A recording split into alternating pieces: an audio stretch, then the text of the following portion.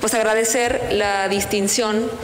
que, con la que nos honran a mis compañeras y compañeros para integrar esta comisión transitoria que dará seguimiento a la investigación que realizan las autoridades que por ley eh, se mandatan a realizar dichas investigaciones y llegar hasta el fondo del asunto. Hemos manifestado de manera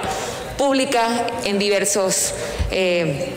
momentos, todas y todos aquí, la necesidad y el interés legítimo de saber qué fue lo que sucedió la noche del 9 de noviembre del presente año en la ciudad de Cancún en los bajos del Palacio Municipal. Pero más allá de eso está el verdadero fondo del asunto,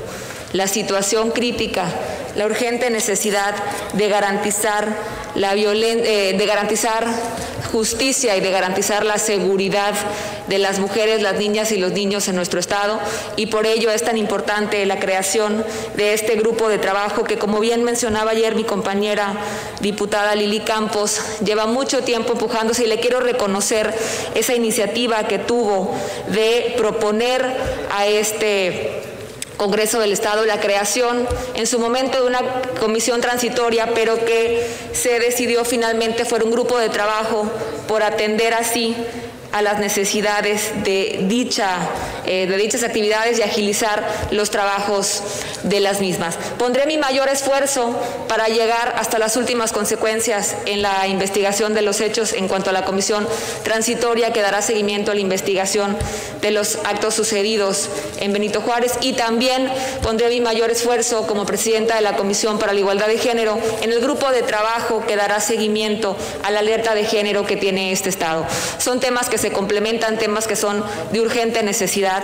Eh, agradezco la oportunidad que nos da este pleno a las y los integrantes, tanto de la comisión como del grupo de trabajo, para poder hacer eh, actividades más eh, específicas en cuanto a dichos temas y bueno, una vez más invitar a todas y todos, si bien habrá un grupo de trabajo y una comisión transitoria, la responsabilidad de estar pendientes de nuestra gente, de las mujeres, jóvenes, niñas y niños en este estado, pues es de todas las autoridades, funcionarios y servidores públicos y más de sus representantes, las diputadas y los diputados. Agradecerles y a las mujeres que nos ven allá afuera decirles que esta es una forma de pasar del discurso a los hechos que desde nuestro ámbito de competencia, que es el legislativo, estamos tomando acciones concretas y claras con las cuales podremos hablarles de los resultados que tendremos desde nuestro ámbito, reitero, para poner atención a los hechos sucedidos, pero también al problema de violencia que viven nuestras niñas, nuestras jóvenes y nuestras mujeres en este nuestro amado Quintana Roo.